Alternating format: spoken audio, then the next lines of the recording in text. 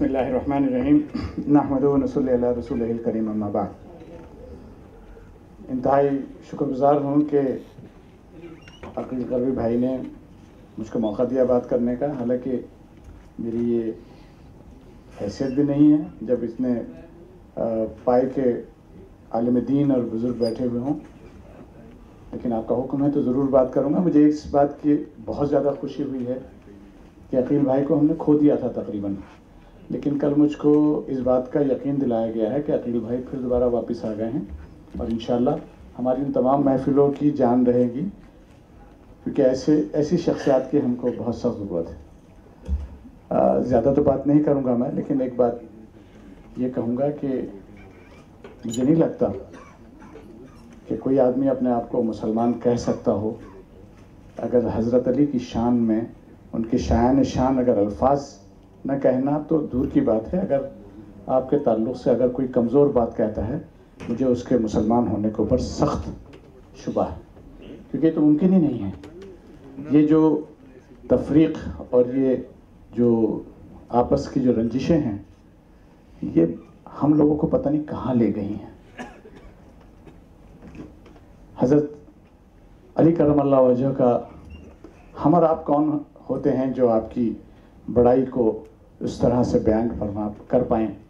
جبکہ خود حضور اکرم صلی اللہ علیہ وسلم کے ایک ایک کام آپ نے جو کیا، وہ اس بات کی جیتی جاگتی ایک دلیل ہے کہ آپ کو حضرت علی کرم اللہ وجہ پر جتنا اطمینان اور اعتماد اور جو کچھ آپ نے تعلیمات دی تھی، جتنا یقین اس تھا، وہ کسی اور کے اوپر نہیں تھا۔ ورنہ کیا وجہ تھی کہ آپ ہجرت کے لیے تشریف لے جا رہے ہوں اور آپ حضرت علی کو حکم دیں۔ کہ آپ اس جگہ لیٹو میری جگہ۔ یہ مقام کسی اور کا نہیں ہو سکتا اور کوئی بھی مسلمان ان تمام چیزوں سے انکار نہیں کر سکتا۔ میں ایک بات یہ عرض کروں کہ اس وقت جو آپ نے جو یہ قدم اٹھایا ہے، یہ ملک و ملت کے لیے بہت ہی ضروری تھا۔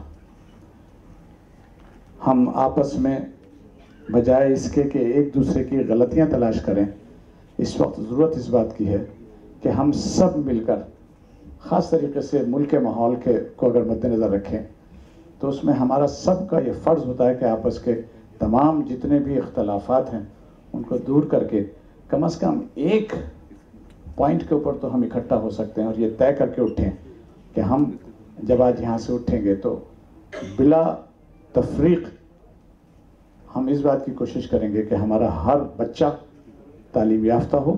کیونکہ اگر اس پورے ماحول کے اندر اگر ہم کوئی کوئی چیز ہمارا ساتھ دے سکتی ہے اور کسی چیز سے مقابلہ کر سکتے ہیں، جو ہمارے لیے بھی اور ملک کے لیے بھی اور انسانیت کے لیے بہتر ہو، وہ صرف تعلیم ہے۔ اور ہم تعلیم میں اس وقت سب سے زیادہ کمزور ہیں۔ پورے ملک میں اگر مسلمان کو دیکھا جائے تو اس میں یہ فرق کرنا مشکل ہو جائے گا آپ کے لیے کہ کون شیعہ ہے، کون سنی ہے۔ مسلمان تعلیم کے اندر موسٹ بیکورڈ ہے۔ اور یہ وہ قوم ہے جس کا جس کو پہلی تعلیم اقرا کی دی گئی ہے۔ تو آئیے، آج عقیل بھائی کی سرپرستی کے اندر اور بزرگان دین جو ہمارے بیٹھے ہیں، ان کی سرپرستی کے اندر ہم یہ اعادہ کریں کہ ہم کسی بھی حالت میں کچھ بھی ہو جائے، بچوں کے لیے، اپنے بچوں کے لیے، تعلیم کے لیے بلا تفریق اس بات کی کوشش کریں گے کہ ہم میں سے ہر بچہ ایچ ون ٹیچ ون کے حساب سے سب کو تعلیم دلا دیں اور اس کے لیے ہر طرح سے جو بھی کام ہو سکتا ہو، ہم اس پہ کریں میں سمجھتا ہوں، اگر ہمارے آج یہ اتنا ہی میسج چلا جائے، شاید ہم حضرت کرم اللہ جی کو صحیح خراج عقیدت دیں گے۔ واخر دوانا الحمدللہ رب العالمین۔